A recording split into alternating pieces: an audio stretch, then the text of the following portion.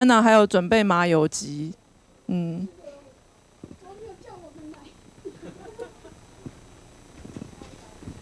好，那个今天食物真的很好吃，我觉得油饭真的太厉害。好，那我们这一组呢，就是我们的重心都放在鸡排上面，所以我们的结果就是稀有鸡排英雄，今有鸡排公投，鸡排币万岁这样。那呃，经过我们认真努力的讨论这么长的时间之后，我们确认了就是鸡排好像真的可以解决这个问题。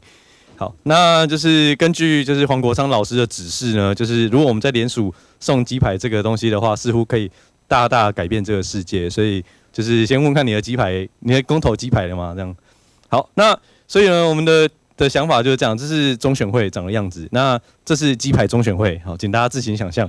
对，好，那这个机制到底是什么？就是我们其实可以把公投跟鸡排结合在一起，因为其实现在大家已经在做了，这已经是已经发生的事实。那其实 我们可以把就是公投啊，就是因为如果我们用区块链的话，我们会需要蛮多的算力，那我们就可以让就是。提供算力的民众呢，就是可以透过挖矿的方式得到鸡排币。那到这鸡排怎么来呢？我们就可以请厂商来赞助。那这个厂商这赞助的越多块呢，它在中选会上面的这个 logo 就越大。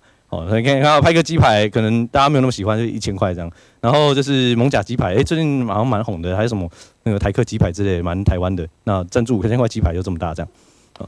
好，所以这是去中心化的这个技术到底要怎么改变这个世界？我们怎么跟鸡排一起颠覆这个世界啊？所以这是这是稍微简单介绍一下。以前没有区块链的时候，大家就只能用那个那个电子戳章那边投票。那所以就是现在我们有智能合约，就是你那个盖票下去，基本上就是直接就会帮你验验算验完了。所以你就不能说哦，我还要验票不行哦，你现在就不能就是决定就是我选举无效或者是我要验票这样就不行。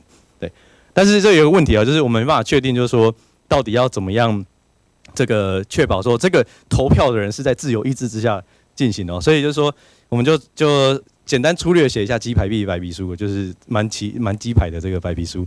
那 就是呃，如果你要发起公投的话，你就要需需要去寻找鸡排赞助商，那就是刚讲的，就是赞助越多鸡排，版面越大这样。然后进行公投的时候呢，我们因为为了要确保大家的那个自由意志，所以就是我们可以利用就是像大家手上很多人都有 iPhone，我们就用 Face ID 登录的方式，就确保就是你不是死人。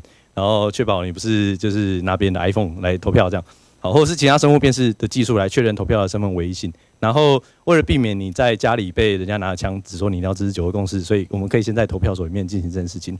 好，那那个因为在投票的时候其实算力呃巅峰很大，所以就是如果你愿意加入这个算力的行列的话，就是你可以参与挖矿。好，那你如果挖到矿的话，你就可以获得鸡排币。那数量还不知道，就随便啊。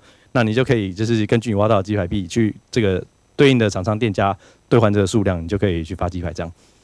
好，所以以上呢就是鸡排旧世界这样，对，就是一个嘴炮嘴炮，但是希望可以激起大家对电子投票一些想法这样。好，谢谢。好，那个下一位是是谁？是。